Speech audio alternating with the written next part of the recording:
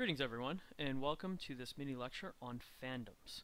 Uh, this mini lecture is going to take a look at this idea of fandoms, what are fans, what do they do, why are they worth studying, what do they have to do with popular culture. Uh, so we're going to just kind of take an introductory look at this. There's all sorts of great research and interesting looks at fandom. Uh, but we're going to just kind of hit the big pieces right now and hopefully as you get into this module be able to fill in some of the gaps. So what is a fandom?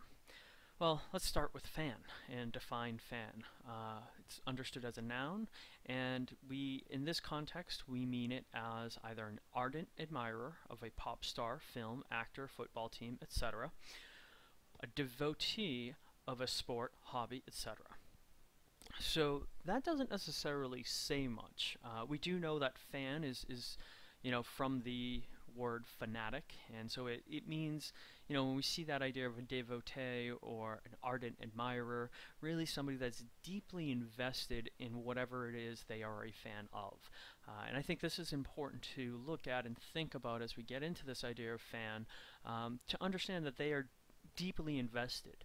And historically we have often undermined that idea of being a fan. But the truth is, lots of people are fans. And some fans we value, other fans we don't.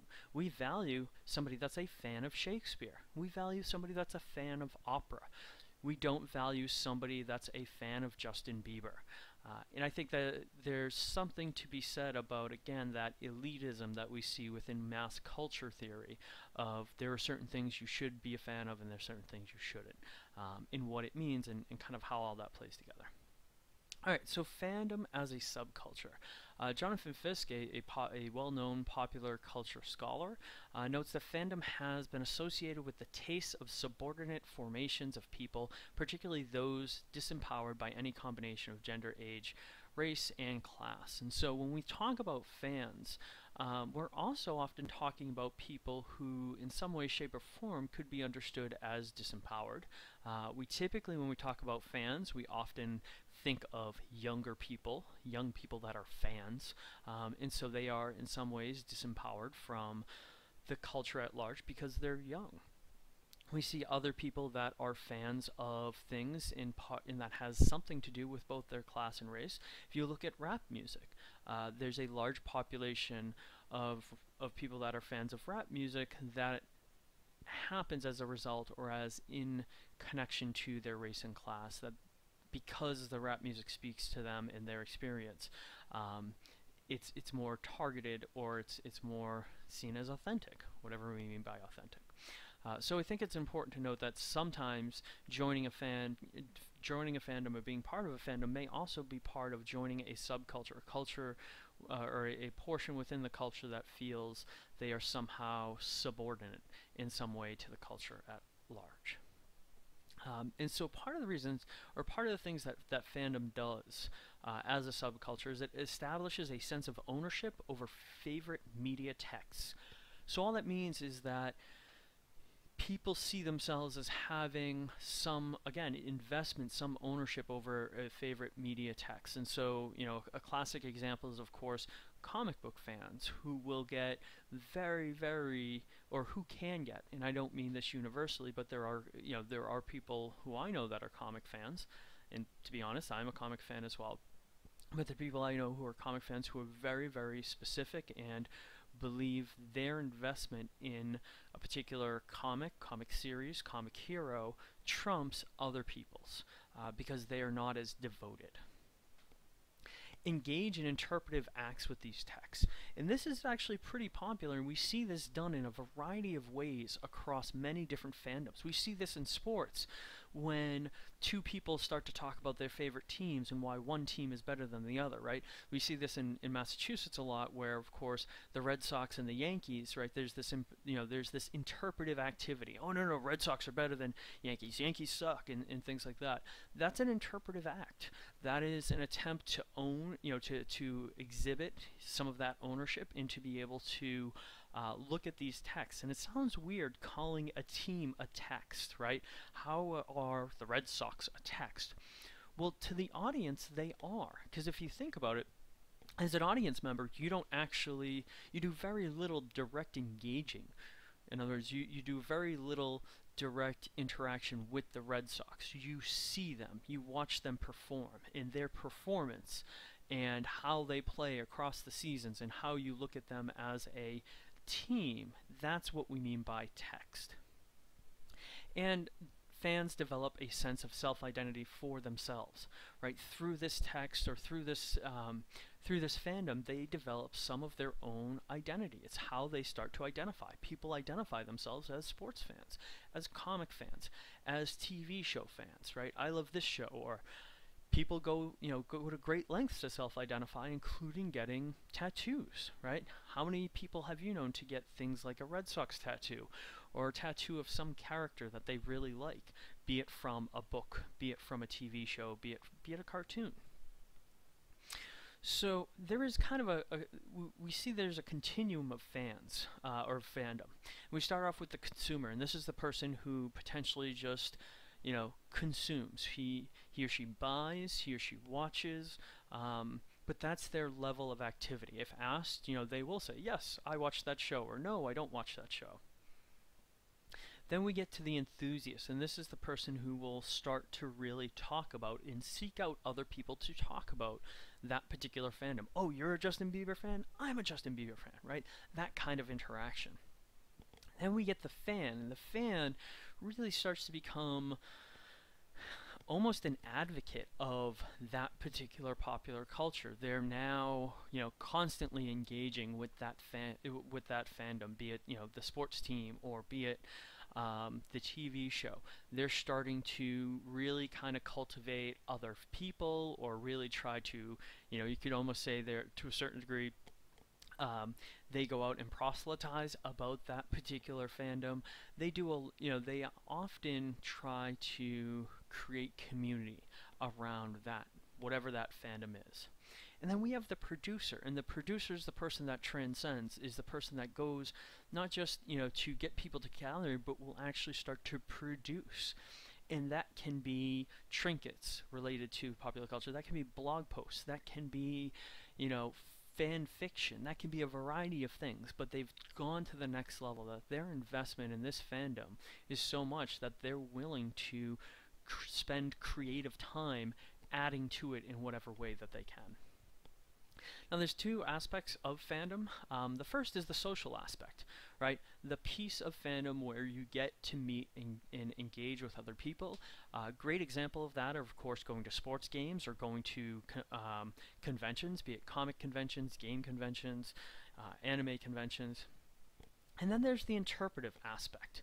And this is where fans begin to you know, either together or on their own, really actually interpret texts or interpret their particular fandom. And on the right here, I have a, just a, a screenshot of a film called Troops. Uh, and it's a very early Star Wars fan film. It's from the late 90s. And the whole idea is that it follows two stormtroopers through Star Wars, kind of like the show Cops does.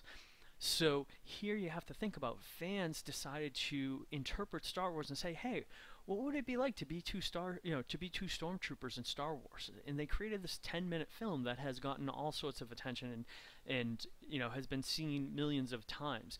Y you know, YouTube only has listed right now about a little under 300,000, but it has been on the internet since well before YouTube and can be found in a variety of places across the internet. So these are two elements that you see predominantly when we get into fandoms. And you see it in a variety of ways. You know, the, the social aspect, you know, when you see people tailgating at a party. The interpretive aspect, you know, you get people that are starting to paint themselves uh, when they go to games or when they are starting to do things like fantasy, you know, fantasy leagues.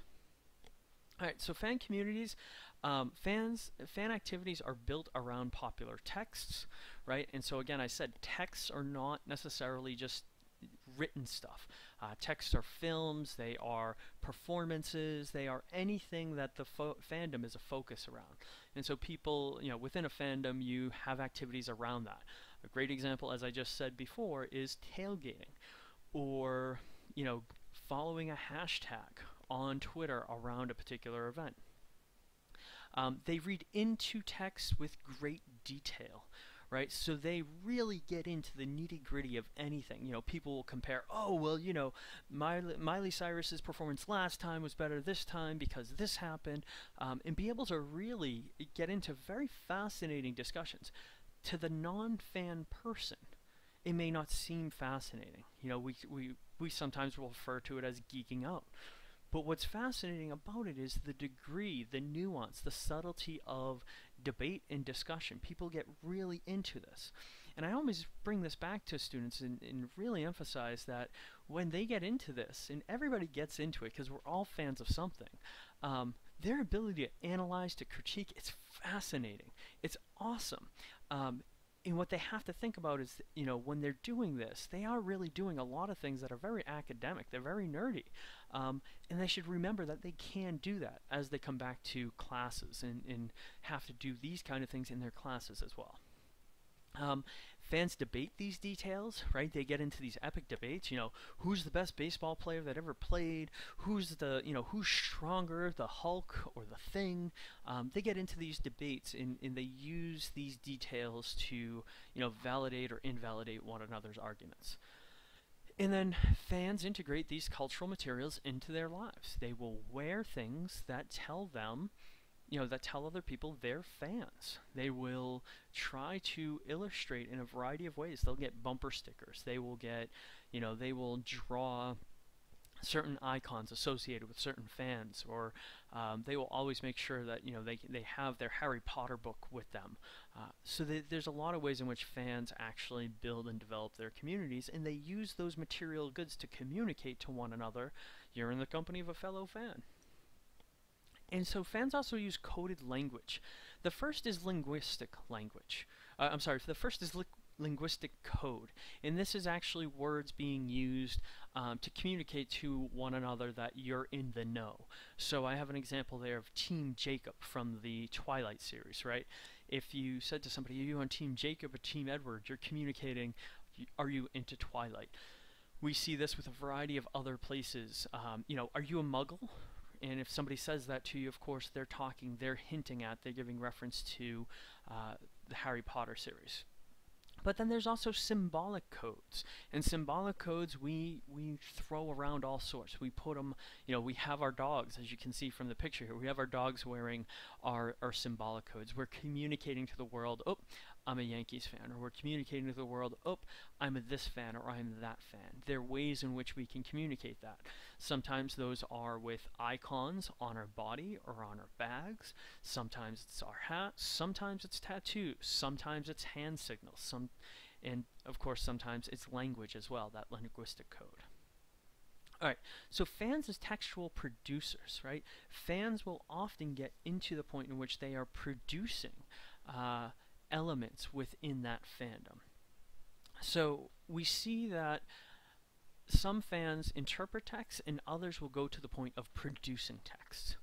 And what do we mean by productivity? Um, usually it entails a close reading of the primary text. So the great example I can think of is of course Harry Potter. There's been loads of fan fiction that has been made around Harry Potter. And the ways in which somebody is going to write fan fiction is they're first going to really study and get every every last bit of details they can from the books, from the Harry Potter books and anything else that J.K. Rowling has said about Harry Potter. Then they're going to actually produce some kind of text. They're going to write something, they're going to tape something, they're going to animate something that is based upon that close reading. Um, that takes you know their understanding of that that world, that fandom, and take it in a new direction. And so this actually creates the opportunity to create brand new narratives, which of course is what ties so many fans into a fandom whether that fandom is music or sports or comics, we often are being pulled into these narratives, these stories, these, these connections with these people that are part of this fandom. So this includes fan fiction, fan films, and games. Um, clothing. It's you know they, there's a variety of things that this includes, um, and I would I would encourage or I would emphasize that that you know those fan games that includes fantasy sports games. So if you have a if you're part of a a fantasy sports league, you're engaging in fandom. You're taking what's real, right? A close reading of the real text, the games, the players, and their stats, and you're creating something fictional out of that. You know, your own league and how they measure up to other people's leagues within this world. Um, so there's some fascinating, cool things that people do with fandoms. Um, some very fascinating and engaging rewards that we see. So other things to know um, about fandoms in general is, you know, we see a large concentration in science, fantasy, and horror, a large fan a large concentration around comics, videos, and anime. Um, but we also see a lot of fandoms in sports. We see a lot of fandoms uh, fandoms in music, right? We have parrot heads for people that are fan of Jimmy Buffett.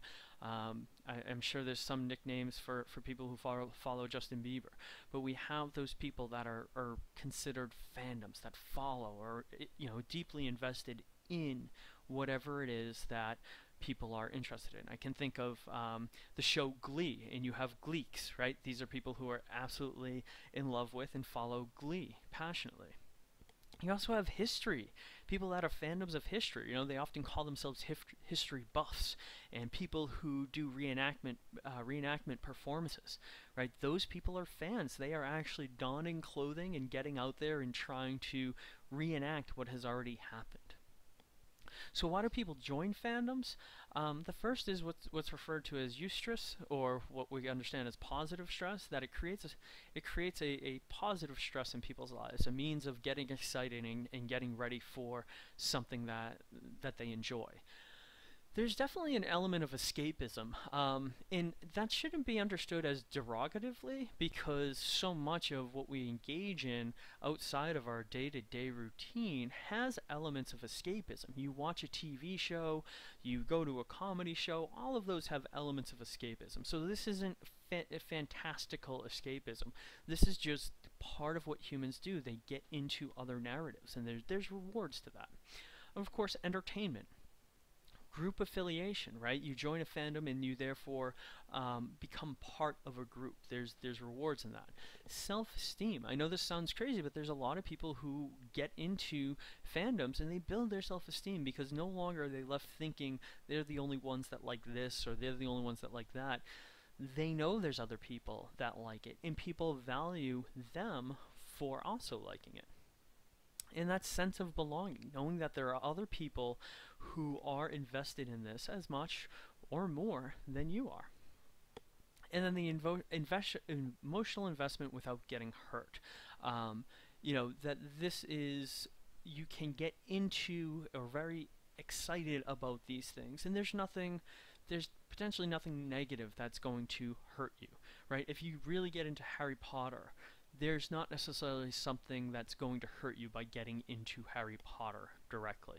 Um, if you're into baseball, there's nothing evident about potentially getting hurt, and that's that's valuable. Again, particularly as we look at when we said that a lot of these people interested come from places of uh, places of subordinate groups. There's something important to be seen there. Alright, that's all for now. Thank you very much for listening to this mini lecture on fandoms, and uh, I will see you in the next lecture. Thank you.